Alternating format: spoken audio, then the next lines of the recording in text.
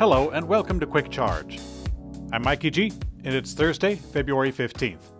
Some early Tesla Cybertruck owners are reporting some rust spots on their brand new stainless steel pickups.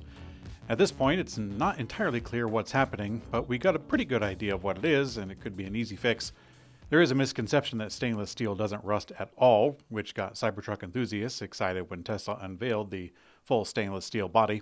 Cybertruck Owners Club member Rexar recently took delivery of his truck and shared issues disclosed by his Tesla advisor.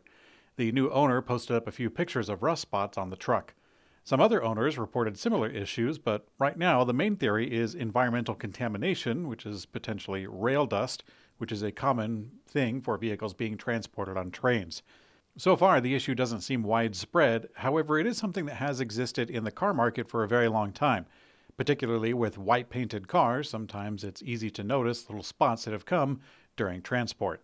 Cybertruck owners and prospective buyers could be aware of this, although it's not something that directly affects just the Cybertruck.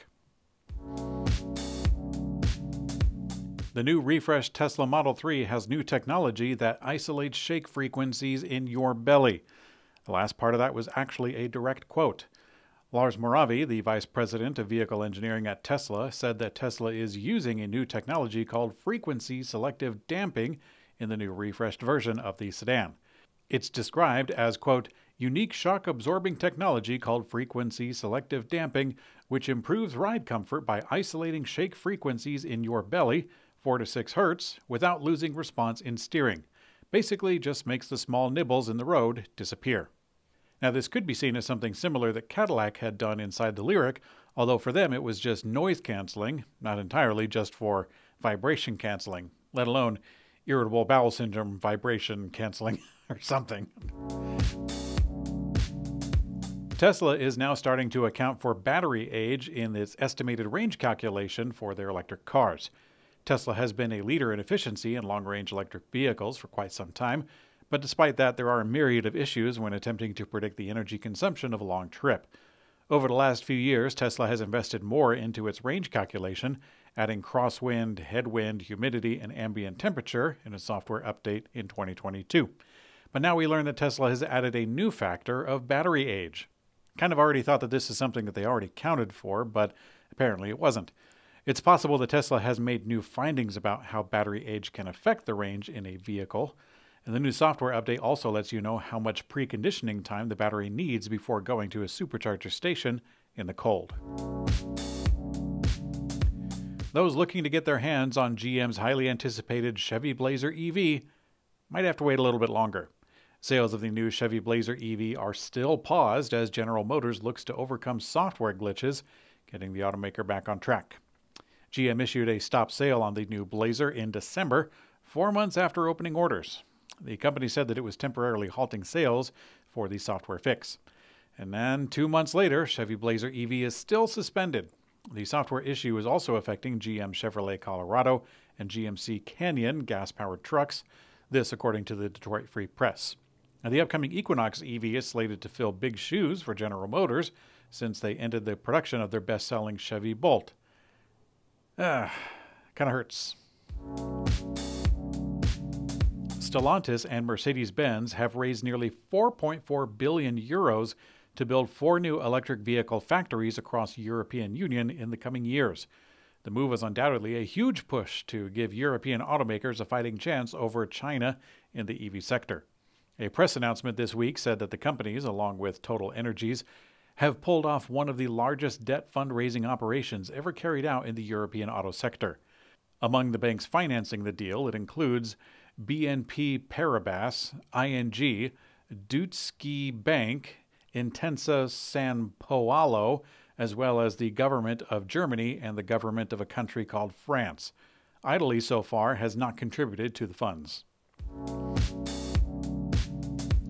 Having just launched its 2024 Air model just a couple months ago, Lucid first started slashing prices, and now they are slashing prices again.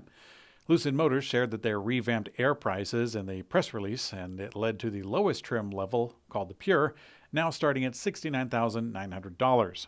The two Air trim levels above that one, called the Touring and Grand Touring, those have been cut to starting prices of $77,900 and $109,900, respectively.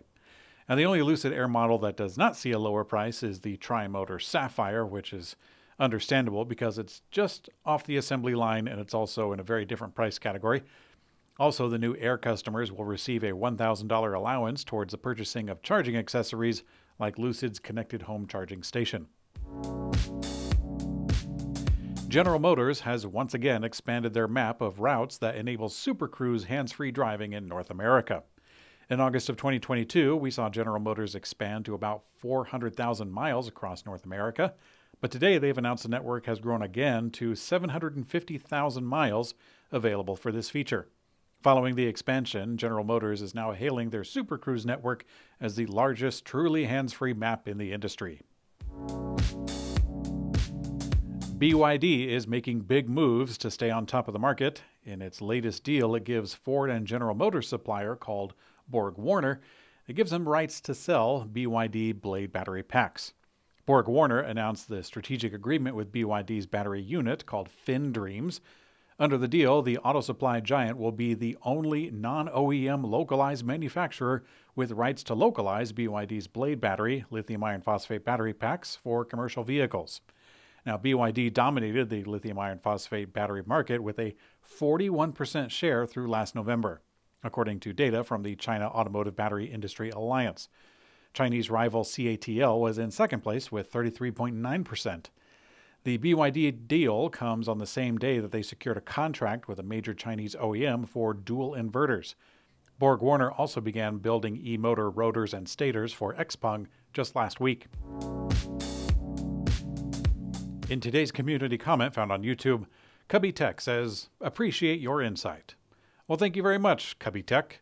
If you like these videos, be sure to click like and leave a related comment and share with your friends, at least any of them who you think would like a daily electric vehicle news recap. As always, I don't advise clicking the bell icon to be notified because your peace of mind is worth far more to you than the minuscule proportion of monetary gain that's left to me after YouTube takes a cut. Thanks for watching Quick Charge. I'm Mikey G, and I hope you have a great day.